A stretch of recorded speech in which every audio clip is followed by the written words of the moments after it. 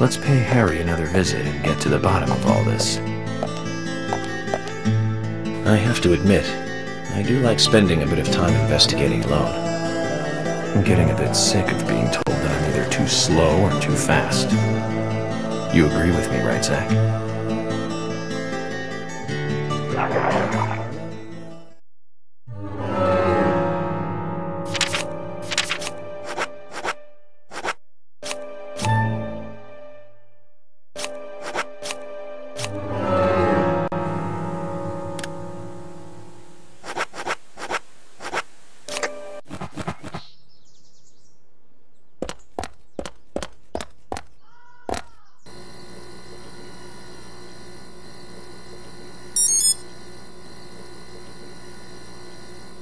Mr. Francis York Morgan, finally you have arrived. You are welcome to come inside.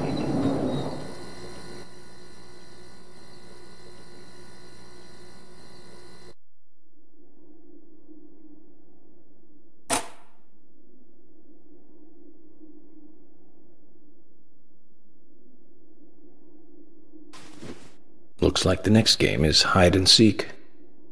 Huh?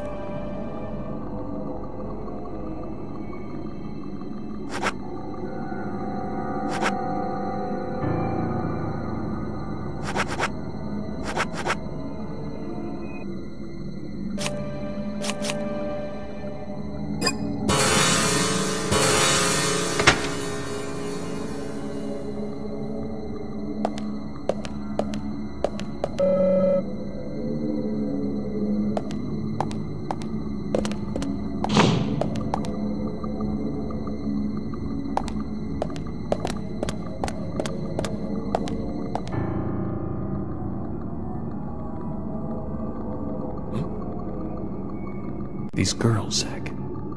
Do you see the resemblance? Anna, Becky. She looks like Diane. And Carol. Zach, look.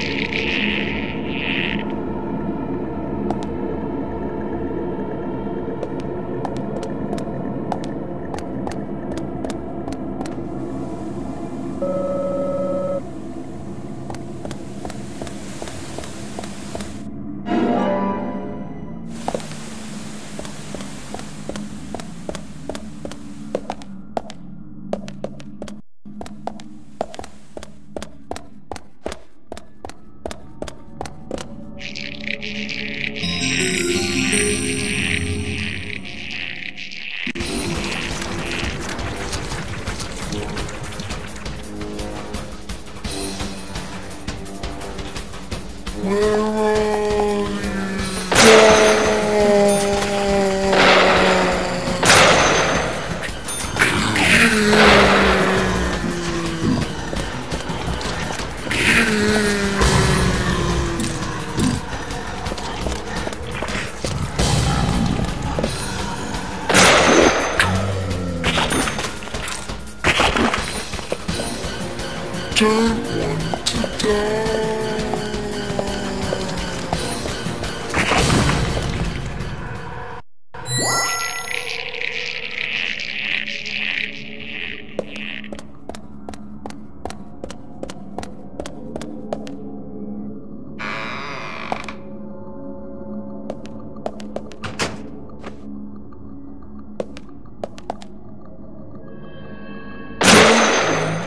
go.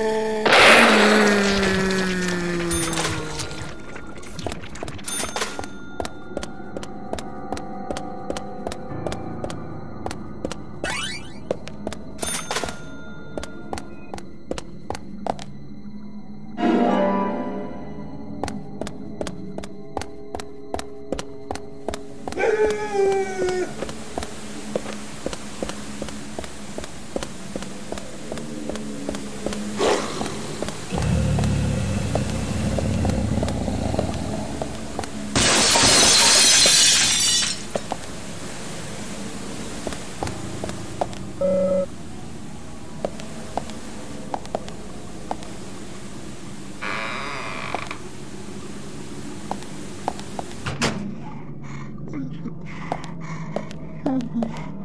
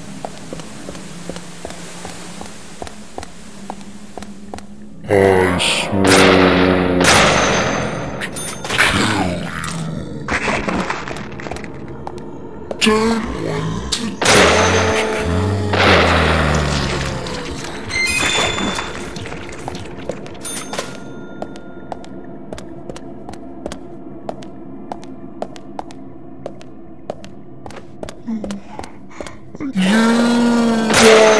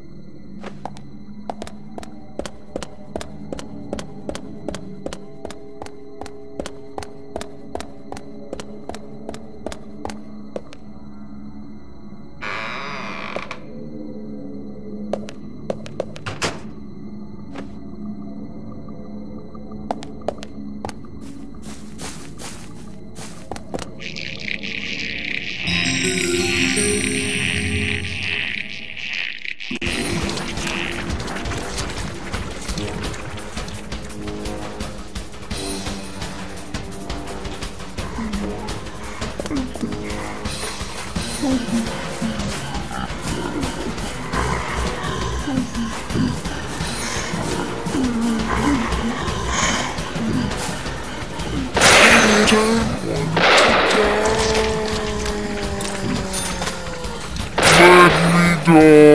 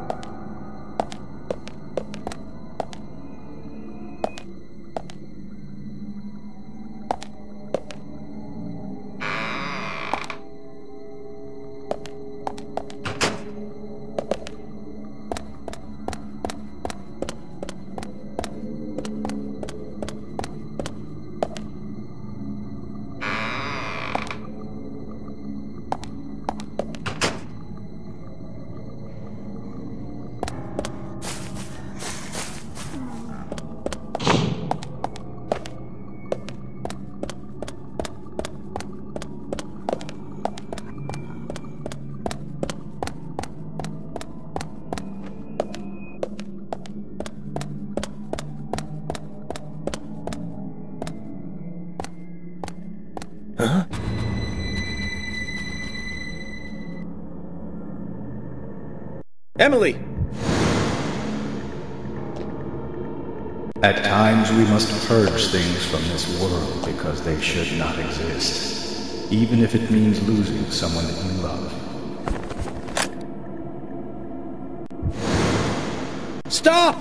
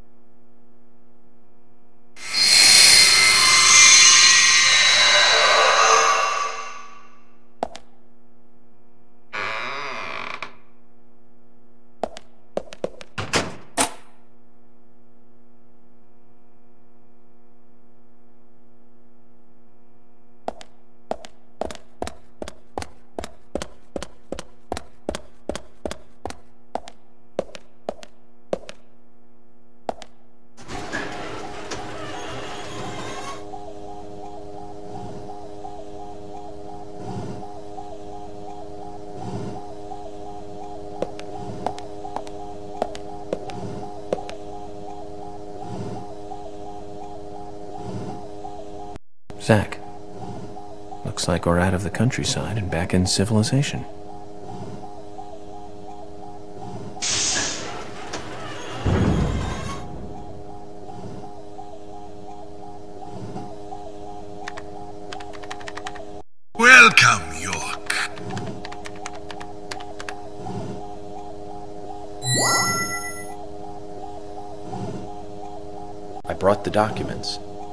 Just what is going on in here? I warned you about haste. Take it slow. You'll lose sight of what's important if you just rush past it. As an agent of the FBI, I'm sure you know. So many people have got it all wrong. They think speed is the key. That being first is the best.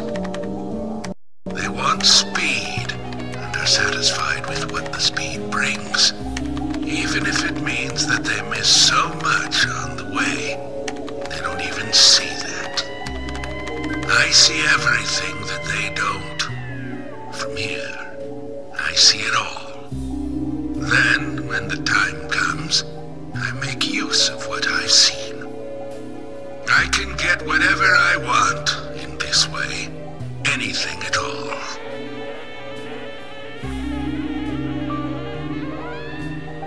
certainly talkative today, Harry. But I didn't come here for a business lecture. Tell me everything you know. Speed is not important. Timing is what is important. Timing. York, you have a natural gift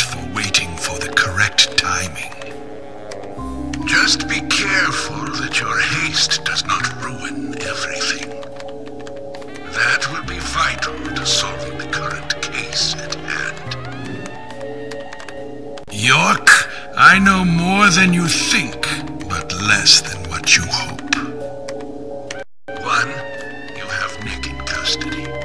Two, Thomas is missing. Three, Carol has a locket that belongs to the murderer. I also know that this case revolves around the red seeds. but that's about it. So you've got an inside line on police information. That reminds me. The victims' tongues were cut out, weren't they? But that's only a minor point. Don't let the shocks blind you to what's more important. That's another business tip. Harry, I'm impressed. You gather information really well. You hacked into the FBI network, too. Amazing. But I didn't come here to hear this. Then let us close the business seminar. It's time for a history lesson instead.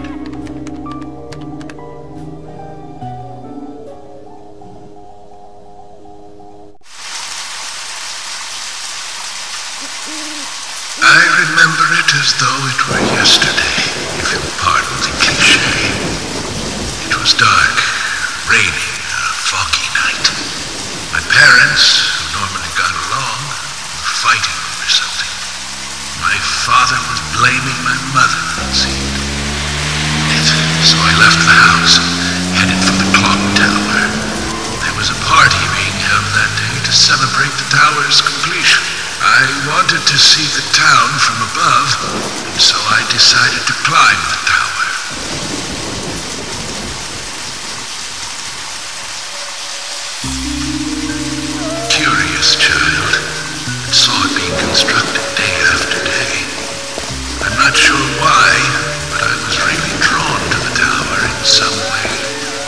That's why I knew. From the pit in the theater, there's a path to the clock tower. They were just cleaning up after the party, so it was easy to get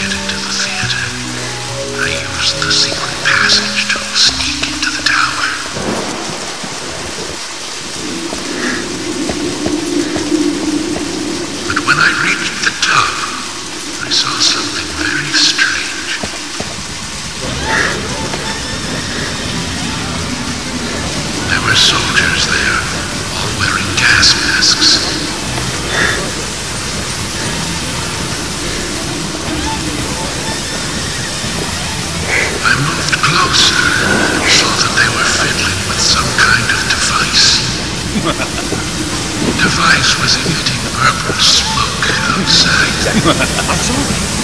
Uh-huh. Just then, for the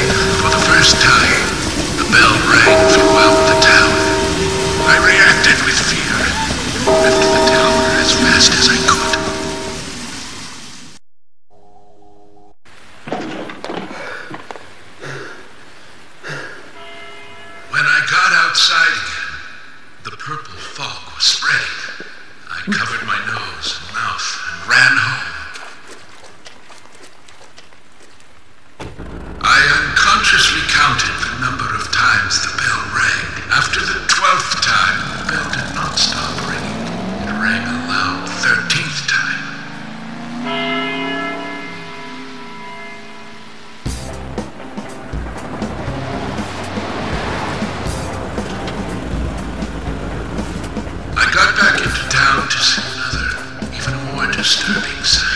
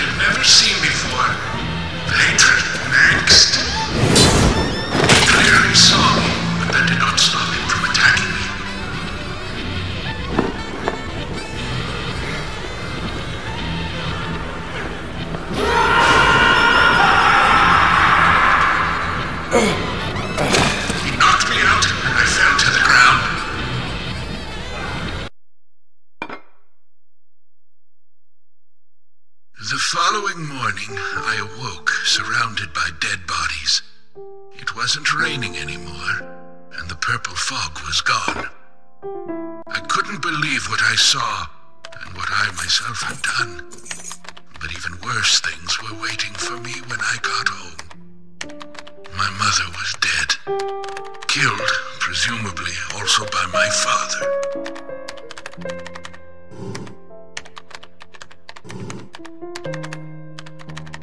The next day, the town was overrun by military personnel.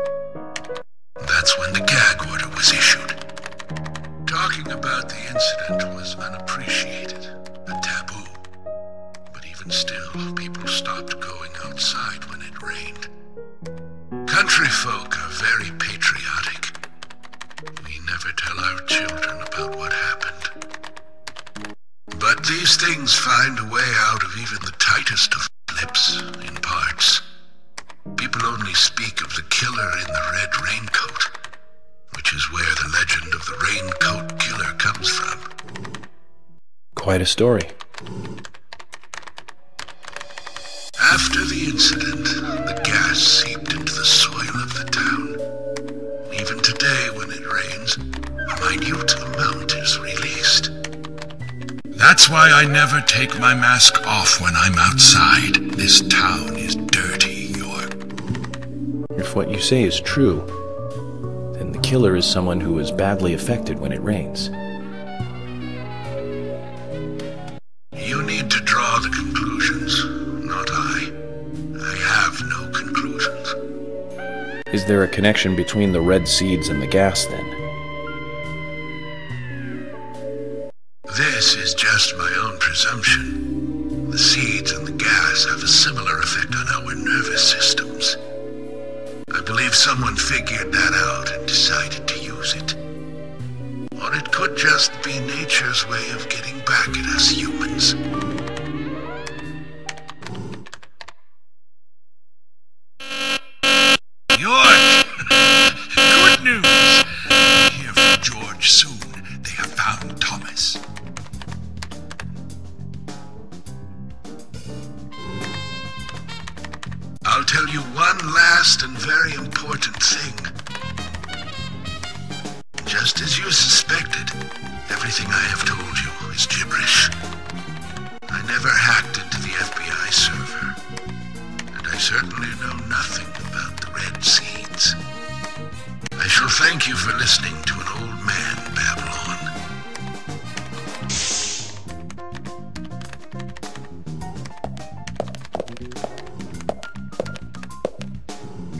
Let me ask you one thing then, Harry. You're a businessman.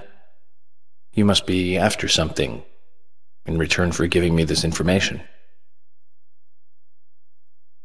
York, at times we must purge things from this world because they should not exist. Even if it means losing someone that you love. But that still does not justify murder. Remember this everything changes in form isn't a single thing that can maintain its shape for eternity. Overlook this fact. You'll be making a big, big mistake.